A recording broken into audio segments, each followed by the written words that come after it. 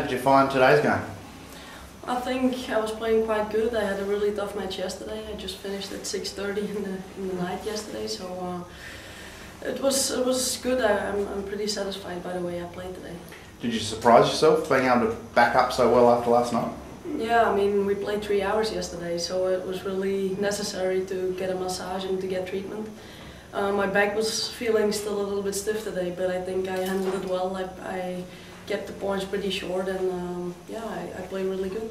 Had you played her before? Because she won here last year. hmm yeah, that's right. So um, I think all pressure was on her today. I had nothing to lose. Um, but I think yeah, I, I played really good today, and, and I'm really I'm really happy to be uh, to be the qualifier. Now, obviously, got yourself into the main draw. Do you think you can now go further and sort of try and create a few more upsets on the way?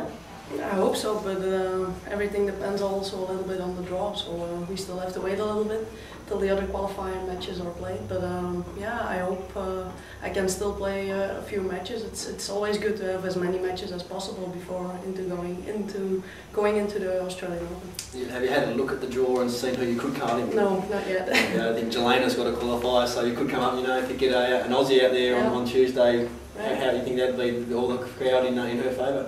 Yeah, you know, um, I just love to play in Australia, so if the crowd is against me, it's it's okay. And, and given that you played such a long game yesterday and again today, will, will that be a factor in the main draw or do you pride yourself on being fit? I think I'm, I'm pretty fit. I mean, uh, the most important thing was to be uh, recuperated today, and I think that that went well. So um, it, it depends if I'm playing tomorrow or Tuesday. I don't know. So uh, we will see, and if I'm having a day off, the better.